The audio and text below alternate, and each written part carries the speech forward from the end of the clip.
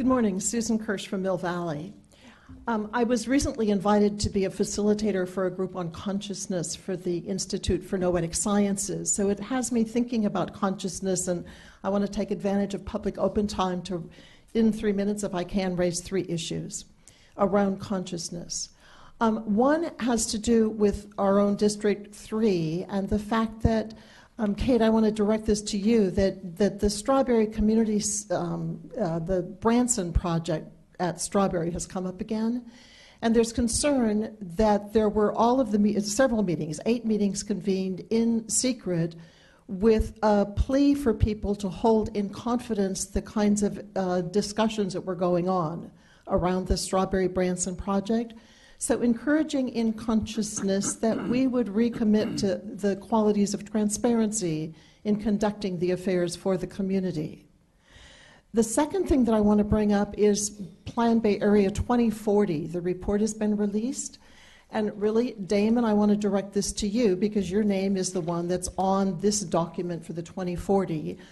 I have here a copy of the regional forecast of jobs, population, and housing what this plan is showing in their own diagrams and with their own conclusions is that this plan is gutting the middle class. What they say here on the household income, income distribution section is that the hollowing out of the middle, middle is projected to continue over the next 25 years. And what's happening is the wealth is being distributed from the middle to the goal post of the upper end, and the rest of the what had been a bell-shaped curve is now taken over by poverty.